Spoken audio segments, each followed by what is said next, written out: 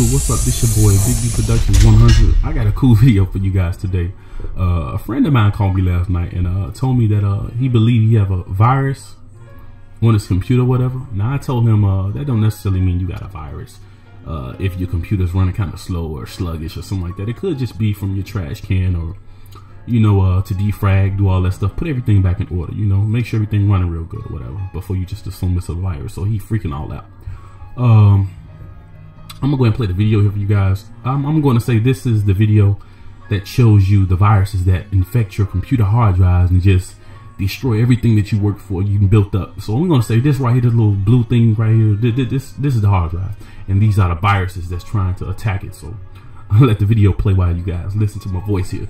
Um, I'm gonna say, uh, first and foremost, uh, most obvious way to protect yourself is to just always use a virus scanner. So there are many virus scanners out there. Some cost money, some that's free. So uh, I mean, it's a lot of other things you can do as well to reduce the chances of you getting a virus.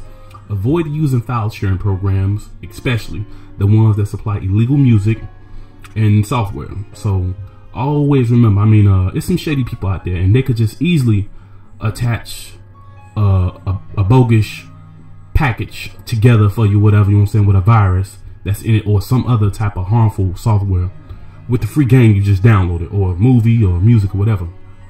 Avoid shady websites, uh, ones that promote illegal software such as movie sites and uh, music sites. Uh, you know what I'm saying?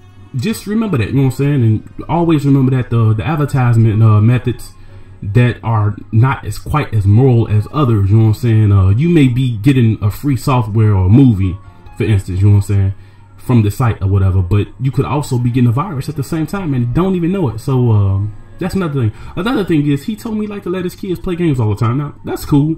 I said if you got Windows or whatever, um, go out and buy the game. I don't. I, I'm, I'm not really too cool with the whole thing of going online playing games and all that. Now I'm pretty sure it's a lot of good legit sites out there. I, I don't know about it. You know what I'm saying? Because like I said, I don't let my kid do that. I have a Mac, so I just tend to just download them out of the App Store or either I go to the app store and purchase a game or something and let my kid play it. Uh, I had Windows, but when I had Windows, I was just buying the games. You know, so I go to Best Buy, whatever, buy the game. I didn't really do the online gaming. I, I don't, I don't do that. You know what I'm saying? As far as going to websites and stuff like that. You know what I'm saying? Call of Duty and stuff like that. That's cool. But like I say, I would just, I would just go out and buy it. So, uh, with that being said, I'm gonna say, uh, don't let your children use your computer under 10. Uh, I know it sounds kind of like a pain in the butt. You know what I'm saying? But I mean, hey children are more likely to just click the yes button, you know what I'm saying, a bunch of times when they're promoted by a window, you know what I'm saying, to, to do something.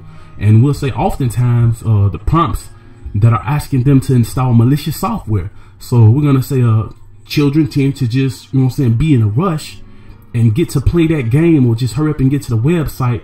You know what I'm saying? They have the tendency to ignore the prompts. So pay attention to that. You know what I'm saying? Pay attention to when your kids is on your computer and they playing these games. Uh, that can just reduce the risk of your child infecting your computer right there. So he told me that uh, he think it was his girlfriend or his kids that did it. It could have just been you. By me saying that, I was like, you know, uh, for instance, with emails, don't open emails from people that you don't know or if you haven't heard from them in a while. Uh, now, a virus, they, they, they got some virus scanners out there that will allow you to scan the email prior to opening it. So I would say, you know what I'm saying, run run the email scanner that you have every time and just take a little peek inside of it if you can.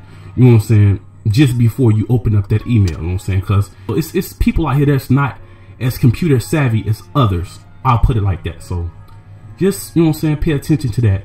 Uh, another thing, if you haven't heard from that person in a while or you haven't talked to that person in a while, every I, I would say every once in a while I would get a message from somebody I haven't spoke to in a while or whatever, saying uh they claim to be sending me some type of file and they want me to take a look at it. Now, generally, I would say people you haven't spoke to in ages just don't have a reason to send you a file.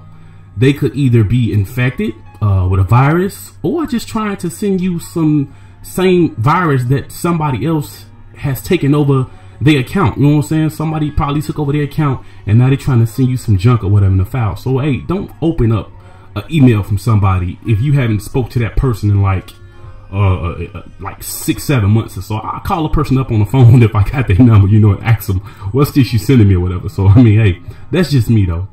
Uh, I'm gonna say um, those are like the top things that I just wanted to talk about that you can do.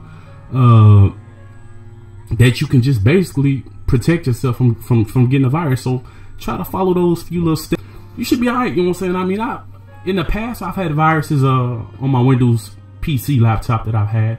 I was running a uh, Windows Vista, and I've heard from everybody that had that, like, hey man, you you should upgrade to Windows 7. But by the end, I just switched over to Mac or whatever, and I was like, okay, cool, I like Mac, so uh, I think Mac is pretty cool. You know I'm saying? So uh, hey man, like I said, just uh follow those steps, and I mean, hey, you should be alright. Hopefully, my buddy check out this video. I'm gonna be sure to give him a call because I'm about to post it right now, and you guys hear me talking, so obviously it's up online already. So follow those steps. Uh, get your virus scanner.